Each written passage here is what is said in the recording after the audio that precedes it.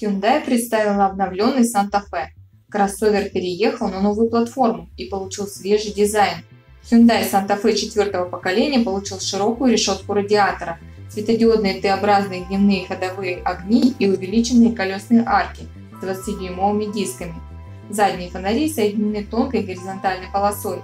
В корейской компании отметили, что салон стал просторнее, а интерьер с материалами премиум-класса роскошнее – на центральной консоли расположился 10,25-дюймовый сенсорный дисплей мультимедийной системы с навигацией, выводом изображения с задней камеры и набором развлекательных функций.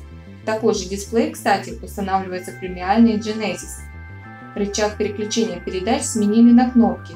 Справа от них расположен поворотный селектор выбора режима вождения для езды по песку, снегу, грязи, а также экорежим, спорт, комфорт и автоматически интеллектуальный который распознает стиль вождения и выбирает режим самостоятельно.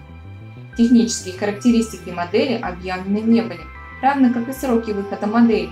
По предварительной информации, Fe будет построен на новой платформе, которая позволит Hyundai продавать модель с гибридной силовой установкой. Традиционные бензиновые двигатели линейки останутся. Ожидается, что в Европе Fe выйдет на рынок осенью 2020 года.